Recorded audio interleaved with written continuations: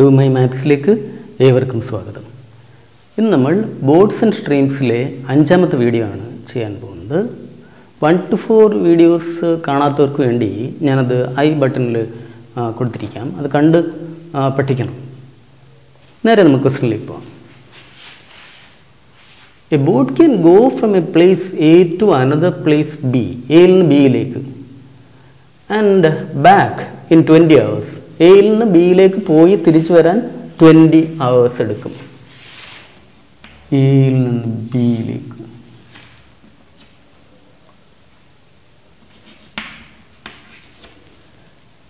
Twenty hours എടുക്കും. പോയി തിരിച്ചു വരാൻ മൊത്തം ട്വന്റി അവേഴ്സ് എടുത്തു.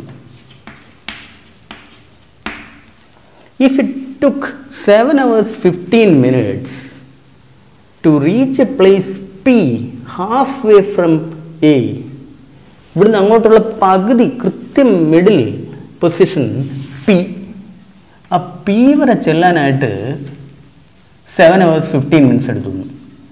സെവൻ അവേഴ്സ് ഫിഫ്റ്റീൻ മിനിറ്റ്സ് എടുത്തു ഇവിടുന്ന് ഇവിടെ ചെല്ലാനായിട്ട്. ചോദ്യം how long would the boat have taken if it had stop the journey at P on the way back? പോയി തിരിച്ചു വരുമ്പോൾ പിയിൽ നിർത്തിയിരുന്നെങ്കിൽ മൊത്തം എത്ര സമയം എടുത്തേനെന്നാണ് ചോദ്യം. നമ്മൾ ക്വസ്റ്റ്യൻസ് വായിക്കുമ്പോൾ വളരെ ക്ലിയർ ആയിട്ട് മനസ്സിലാക്കി കഴിഞ്ഞാൽ വളരെ സിമ്പിളായിട്ട് ചെയ്യാൻ പറ്റും. അത് നല്ല ബേസ് ഉണ്ടായിരിക്കണം അല്ലാതെ പറ്റില്ല. ക്വസ്റ്റ്യൻസ് വായിക്കുക അത് ഒറ്റ വായനയിൽ മനസ്സിലാക്കിയിരിക്കുക ഇതിനൊക്കെ സ്ട്രോങ് ബേസ് ഉണ്ടെങ്കിൽ പറ്റൂ. അപ്പോൾ ഇവിടെ എന്താ നടന്നത്?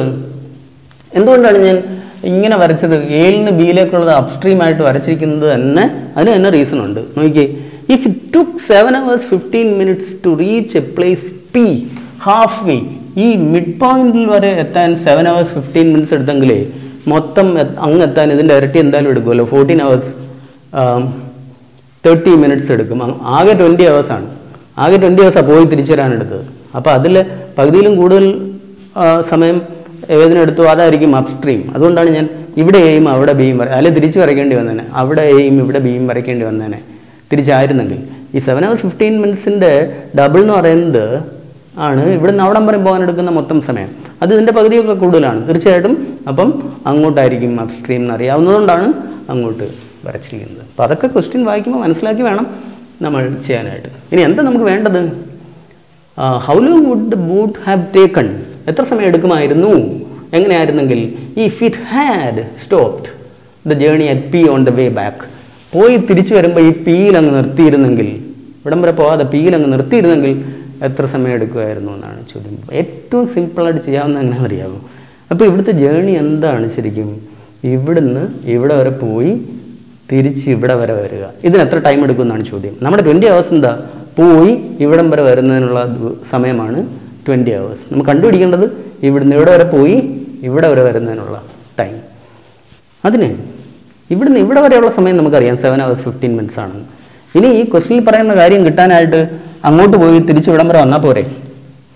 മൊത്തം ഇവിടുന്ന് അവിടം വരെ പോയി തിരിച്ചു വരാൻ ട്വന്റി അവേഴ്സ് എടുക്കുമെങ്കിലേ ഇവിടുന്ന് അങ്ങോട്ടുള്ള ദൂരം മൊത്തത്തിന്റെ പകുതിയല്ലേ? അപ്പോൾ ആ പകുതി ദൂരം അങ്ങോട്ട് പോയി ഇങ്ങോട്ട് വരാൻ ഇതിന്റെ പകുതി ടെൻ അവേഴ്സ് എടുക്കും എടുക്കണ്ടേ? അപ്പോൾ ആൻസറായി.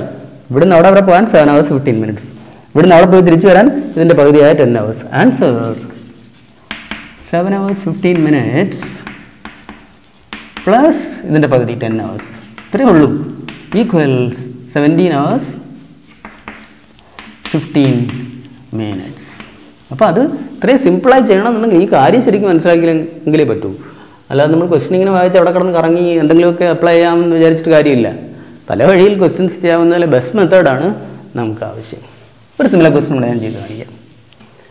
A boat can go from a place A to another place B A എന്ന് ബിയിലേക്ക് ആൻഡ് ബാക്ക് പോയി തിരിച്ചു വരാൻ ട്വന്റി ഫൈവ് അവേഴ്സ് എടുക്കും. ട്വന്റി ഫൈവ് അവേഴ്സ് എടുക്കും. ഇവിടുന്ന് അവിടെ പോയി തിരിച്ചു വരാനായിട്ട്.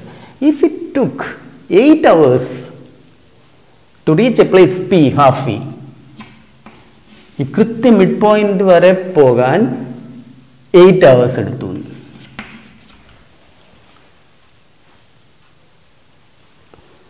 If it took eight hours eight hours എടുത്തെങ്കിൽ ഇവിടുന്ന് അവിടെ വരെ പോകാൻ എയ്റ്റ് അവേഴ്സ് എടുത്തെങ്കിൽ എന്താ നമുക്ക് വേണ്ടത്? How long would the boat have taken if it had stop the journey at P on the way back തിരിച്ചു വരുമ്പോൾ പിയിൽ നിർത്തിയിട്ടുണ്ടായിരുന്നെങ്കിൽ എത്ര സമയം എടുക്കുമായിരുന്നു? അപ്പോൾ കഴിഞ്ഞ്. അതേപോലെ തന്നെ. ഇവിടുന്ന് ഇവിടെ പോകാൻ എയ്റ്റ് അവേഴ്സ് എടുക്കും. അങ്ങോട്ട് പോയി തിരിച്ച് ഇവിടെ വരിക എന്ന് വെച്ചാൽ മൊത്തത്തിന്റെ പകുതി ദൂരം പോയി തിരിച്ചു വരലാണ്. മൊത്തം ദൂരം പോയി തിരിച്ചു വരാൻ ട്വന്റി ഫൈവ് ഹവേഴ്സ് എടുക്കുമെങ്കിൽ അതിന്റെ പകുതി ദൂരം പോയി തിരിച്ചു വരാൻ പന്ത്രണ്ടര മണിക്കൂർ എടുക്കും. ആൻസർ ഇവിടുന്ന് ഇവിടെ വരെ പോകാൻ എയ്റ്റ് ഹവേഴ്സ് പ്ലസ് ഇവിടുന്ന് പോയി തിരിച്ചു വരാൻ ഇതിന്റെ പകുതിയായ പന്ത്രണ്ടര മണിക്കൂർ. എന്ന് വെച്ചാൽ twelve hours thirty minutes equals answer രണ്ടും കൂടെ twenty hours twenty hours thirty minutes ഇത്രയേ ഉള്ളൂ അങ്ങനെ സിമ്പിളായി ചെയ്യാം നെക്സ്റ്റ് ക്വസ്റ്റ്യൻ നോക്കാം A boat covers 18 km upstream and 27 km downstream in 3 hours. Upstream 18 km ഉം downstream 27 km പോകാൻ 3 hours എടുത്തു മൊത്തം upstream and downstream ഇങ്ങനെ വരിക ഇവിടെ ടൈം upstream 18 കിലോമീറ്ററും downstream 27 kilometre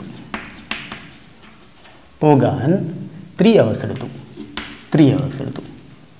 while it covers thirty വേറൊരു case while it covers thirty kilometre upstream upstream thirty കിലോമീറ്ററും and thirty six kilometre downstream thirty six kilometre down സ്ട്രീമും പോകാൻ ഫോർ ആൻഡ് ഹാഫ് അവേഴ്സ് എടുത്തു four and half hours എടുത്തു. ഇത്രയേ ഉള്ളൂ.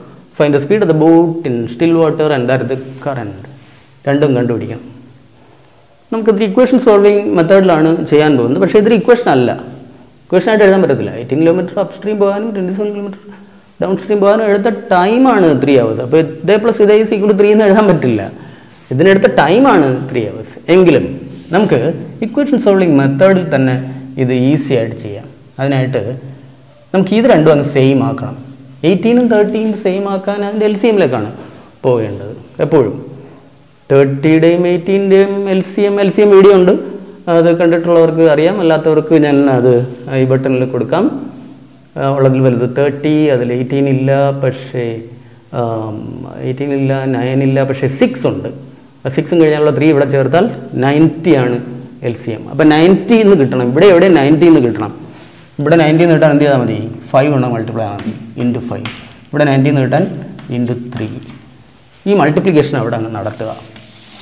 ഇതിന് five കൊണ്ട് മൾട്ടിപ്ലൈ അങ്ങ് എഴുതുക. അപ്പം നയന്റി കിലോമീറ്റർ അപ്സ്ട്രീം ഇതിന്റെ ഫൈവ് ഇത് into five hundred and thirty five kilometre hundred and thirty five hundred and thirty five kilometre downstream പോകാൻ ഇന്റു ഫൈവ് ഫിഫ്റ്റീൻ അവേഴ്സ് എടുത്തു എന്നും. ഇവിടെ ത്രീ കൊണ്ട് മൾട്ടിപ്ലൈ എല്ലാത്തിനും ത്രീ കൊണ്ട് മൾട്ടിപ്ലൈ നയന്റി കിലോമീറ്റർ അപ്പ് സ്ട്രീമും ഇത് into three one nought eight one nought eight kilometre down സ്ട്രീമും പോകാൻ ഇത് into three four and half into three four into three twelve half into three one and half ട്വൽവും one and ഹാഫും thirteen and half ട്വൽവും one and half അപ്പം അങ്ങനെയൊക്കെ ചെയ്ത് ശീലിക്കണം. Four and half നമ്മൾ ത്രീ ഇന്റു ഫോർ ടു അല്ല. Half into three one and half രണ്ടും കൂടെ ചേർത്ത് തേർട്ടീൻ ആൻഡ് ഹാഫ് അവേഴ്സ് എടുത്തു. ഇനിയും നോക്കിക്കേ. ഇത് രണ്ടും ഈക്വലായി ഇങ്ങോട്ടേക്ക് സബ്ട്രാക്ട് ചെയ്യണം. സബ്ട്രാക്ട് ചെയ്യുമ്പം ട്വന്റി സെവൻ കിലോമീറ്റർ എന്ന് കിട്ടും. ആ ട്വന്റി സെവൻ കിലോമീറ്റർ അവിടെ കിടക്കുക. ഡൗൺ സ്ട്രീമാണ് പോകാൻ ഈ ഡിഫറൻസ് ഫിഫ്റ്റീൻ ഇന്ന് തേർട്ടീൻ ആൻഡ് ഹാഫ് പോയാൽ one and half one and half hours അതെന്താ അർത്ഥം?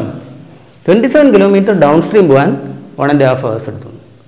മണിക്കൂറിൽ പോകുന്ന ദൂരമാണ് സ്പീഡ് അപ്പോൾ ഒന്നര മണിക്കൂറിൽ ട്വന്റി സെവൻ ആണെങ്കിൽ ഒരു മണിക്കൂറിൽ കണ്ടുപിടിക്കാൻ പല വഴികളുണ്ട്. അത് വേഗത്തിൽ ചെയ്യാനാണെങ്കിൽ ഒന്നര നിങ്ങൾ ഹാഫിലോട്ട് പോകാൻ മൂന്നിലൊന്നും എടുത്താൽ മതിയല്ലോ. ഹാഫ് ആൻ അവറിൽ ഇതിന്റെ മൂന്നിലൊന്ന് ഒമ്പത്. ഒരു മണിക്കൂറിൽ പതിനെട്ട്. അങ്ങനെ എഴുതാം. അപ്പോൾ ഒരു മണിക്കൂറിൽ എയ്റ്റീൻ കിലോമീറ്റർ പോകും എന്ന് പറഞ്ഞാൽ എന്താ അർത്ഥം? ഡൗൺ സ്ട്രീം സ്പീഡ് ഇപ്പോൾ കിട്ടി. ഡൗൺ സ്ട്രീം എയ്റ്റീൻ കിലോമീറ്റർ പോകാൻ വൺ അവർ എടുക്കും വെച്ചാൽ downstream speed eighteen kilometre per hour ആണ്. അപ്പോൾ downstream speed B plus S എന്ന് പറയുന്നത് എയ്റ്റീൻ എന്ന് കിട്ടി. ഇനി ഇവിടെ നോക്കി ഇത് ഡൗൺ സ്ട്രീം സ്പീഡ് എയ്റ്റീൻ എന്ന് പറഞ്ഞാൽ ഒരു മണിക്കൂറിൽ എയ്റ്റീൻ കിലോമീറ്റർ പോകും ഡൗൺ സ്ട്രീം ഞാൻ നേരെ ഇതാ ഇങ്ങോട്ടിങ് വരിക. എയ്റ്റീൻ കിലോമീറ്റർ പോകാൻ വൺ അവർ ആണെങ്കിൽ downstream thirty six kilometre പോകാൻ രണ്ട് മണിക്കൂറാണ് അപ്പോൾ ഇതിന് രണ്ട് മണിക്കൂറാണ് എടുത്തത്. ഇവിടെ മൊത്തം ഫോർ ആൻഡ് ഹാഫ് ആണ് എടുത്തത്. അത് ഇതിന് രണ്ടാണെങ്കിൽ ബാക്കി രണ്ടര ഇതിനായിരിക്കുമല്ലോ. അപ്പോൾ തേർട്ടി കിലോമീറ്റർ പോകാൻ രണ്ടര മണിക്കൂർ. തേർട്ടി കിലോമീറ്റർ പോകാൻ രണ്ടര മണിക്കൂർ. തേർട്ടി കിലോമീറ്റർ അപ്സ്ട്രീം പോകാൻ രണ്ടര മണിക്കൂറാണെങ്കിൽ രണ്ടരയെന്ന് ഒന്നിലേക്ക് വരാൻ ഡബിൾ അങ്ങ് എടുക്കുക. അപ്പോൾ അഞ്ച് കിട്ടും. അഞ്ച് മണിക്കൂറിന് സിക്സ് ആണ്. സിക്സ്റ്റി ആണ്.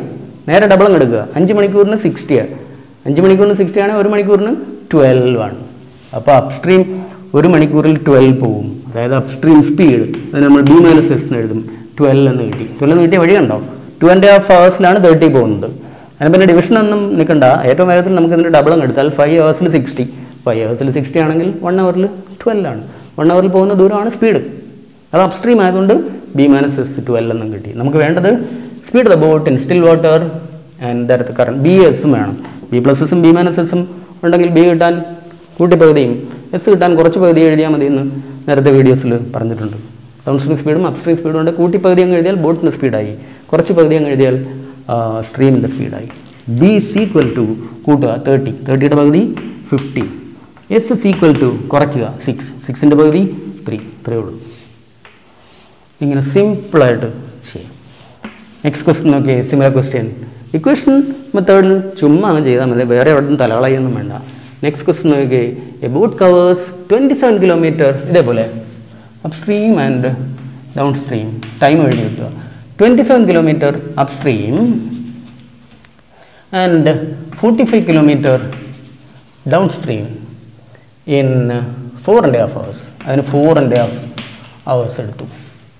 While it covers 18 kilometer upstream 18 kilometer upstream and 50 kilometer downstream 50 kilometer downstream in 4 hours 4 hours എടുത്തു. ഇത്രയേ ഉള്ളൂ. അപ്പം വേഗത്തിൽ ഇത് രണ്ടും ഈക്വൽ ആക്കാം. ട്വന്റി സെവനും എയ്റ്റീനും എൽ സി എം വെള്ളത്തിൽ വലുത് ട്വന്റി സെവൻ എയ്റ്റീൻ പോകത്തില്ല ഇന്റു നയൻ പോവും. ബാക്കി ടു ഇവിടെ വെച്ചാൽ ഫിഫ്റ്റി ഫോർ ഇപ്പോൾ ഫിഫ്റ്റി ഫോറിലെത്തണം എൽ സി വീഡിയോ കണ്ടുപിടിക്കുക. ഫിഫ്റ്റി ഫോറിലെത്താൻ ഇതിനെ ടു കൊണ്ട് മൾട്ടിപ്ലൈ മതി ഇവിടെ ഫിഫ്റ്റി ഫോറിലെത്താൻ ഇതിനെ ത്രീ കൊണ്ട് മൾട്ടിപ്ലൈ മതി അതങ്ങ് ചെയ്യുക. ടു കൊണ്ട് മൊത്തത്തിൽ മൾട്ടിപ്ലൈ ചെയ്യുക. അപ്പോൾ fifty four kilometre up stream ഇത് ടു കൊണ്ട് മൾട്ടിപ്ലൈ ചെയ്യുമ്പം നയന്റി കിലോമീറ്റർ ഡൗൺ സ്ട്രീം ഇത് ടു കൊണ്ട് മൾട്ടിപ്ലൈ ചെയ്യുമ്പം നയൻ അവേഴ്സ് ഇവിടെ ത്രീ കൊണ്ട് മൾട്ടിപ്ലൈ മൊത്തം. Eighteen into three fifty four kilometre up stream fifty into three one fifty kilometre down stream four into three twelve hours എടുത്തു. Subtract ചെയ്യുക.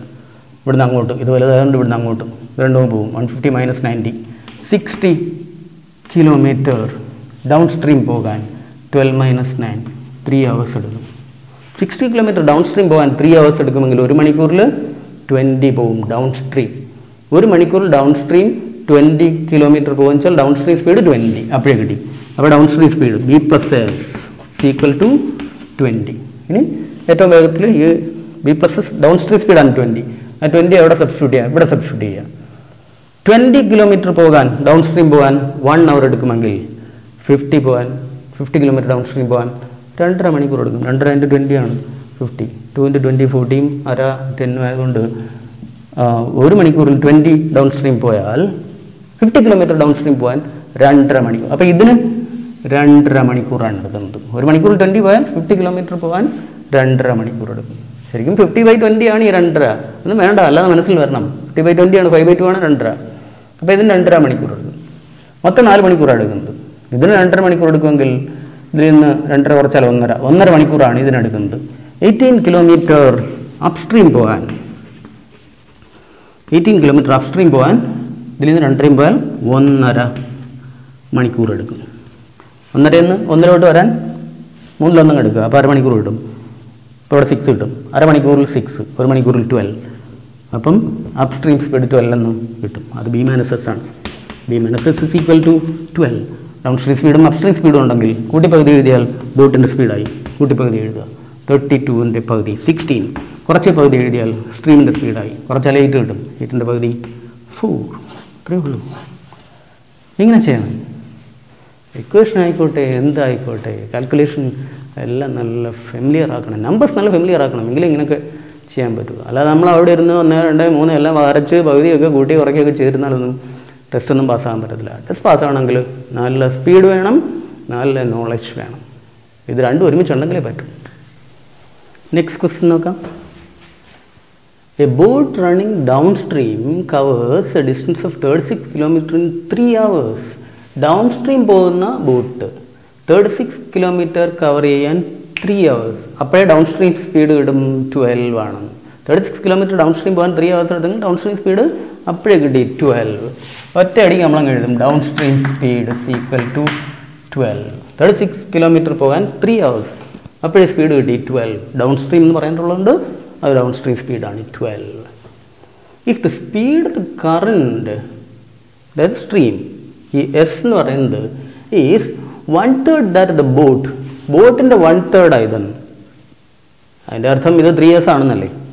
അപ്പോൾ B എന്ന് പറയുന്നത് ത്രീ എസ് ആണ്. Three S plus S is equal to twelve എന്ന് കിട്ടി. ഇതിന്റെ one ഇതിന്റെ വൺ തേർഡ് ആണിത്. അപ്പോൾ ഇതിന്റെ ത്രീ ടൈംസ് ആണ്. അപ്പം ബി എന്ന് പറയുന്നത് ത്രീ എസ് ആണ്. അപ്പോൾ four S is equal to twelve ആയി. ഫോർ എസ് ട്വൽവ് ആണ് S is equal to three എന്ന് കിട്ടി. Four S is equal to twelve s is equal to twelve by four is equal to അപ്പോൾ S is equal three എന്ന് കിട്ടി. നമുക്ക് വേണ്ടത് speed of the ബോട്ടാണ് speed of the boat എന്താ? ഇവിടെ കൊടുത്തേച്ചാൽ മതി.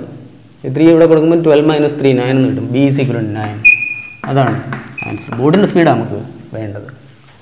നെക്സ്റ്റ് ക്വസ്റ്റ്യൻ നോക്കിയേ A boat running upstream A boat running upstream distance of forty eight kilometre in six hours forty eight kilometre പോകാൻ സിക്സ് അവേഴ്സ് അപ്പറേ സ്പീഡ് കിട്ടും. Forty eight by six eight ആണെന്ന്. പക്ഷേ അത് അപ്സ്ട്രീമാണ് അപ്സ്ട്രീം പോകാൻ ഫോർട്ടി എയ്റ്റ് കിലോമീറ്റർ അപ്സ്ട്രീം പോകാൻ six hours എടുത്തു.